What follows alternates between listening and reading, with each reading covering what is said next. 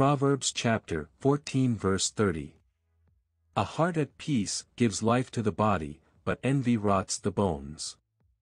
I believe that the number one killer, in the modern world is stress. Medical doctors can advise the patient to cut down on foods that will worsen their sickness or condition.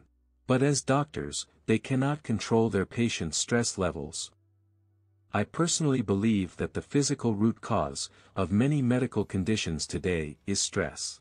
Stress can produce all kinds of imbalances in your body. It can cause you to age prematurely, give you rashes, and other uncomfortable conditions in your body. Stress is not from God. Shalom is from Him. That is why Jesus gave and left His peace to us, so that our hearts will not be troubled and neither be afraid. Now, Jesus would not have used the word peace. The Greek New Testament renders peace as eirene, but since Jesus spoke Aramaic Hebrew, he would have used the word shalom. In the Hebrew vernacular, shalom is a very rich and loaded word. There is no English word that can accurately encapsulate the fullness, richness, and power contained in the word shalom. But while the word shalom includes peace, it means so much more.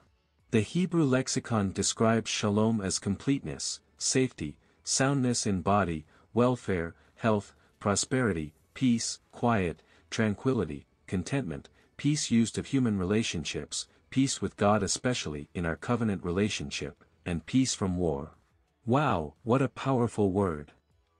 This is the shalom that Jesus has bequeathed you, his completeness, his safety, his soundness, his welfare, his health, his prosperity, his peace, his quietness, his tranquility, his contentment, his peace in human relationships, his peace with God through the covenant made at the cross, and his peace from war. All these, my friend, are part of your inheritance in Christ today. Can you picture the full implications of what it means to experience Jesus' shalom in your life? How healthy, vibrant, energetic, and strong you will be. Thank the Lord for this blessing today, and start enjoying His shalom in every area of your life.